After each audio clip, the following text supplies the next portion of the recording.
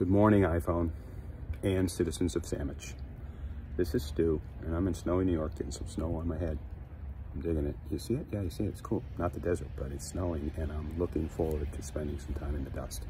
If you will have me as a virgin burner, pledge, plead, apprentice, what's our title? Well, do you have a title? I mean, I'm not an Earl. You guys are the Earls and Earlicinas, and I am the wannabe post-virgin. So please allow me to join you, if you will. I've been thinking a little bit about it. I got some awareness of the shenanigans around the Sammy and the Sammy Mobile. Very fun. And I'm worried a little bit about the leave no trace equation. And I got four kids, so I spend a lot of time thinking about the potty. I just do. It's my thing. I don't know. So I got this idea here.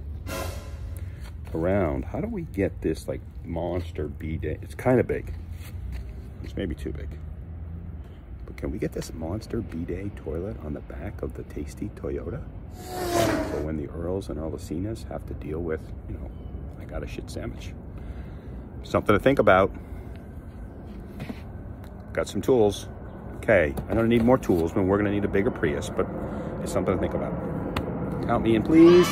See ya.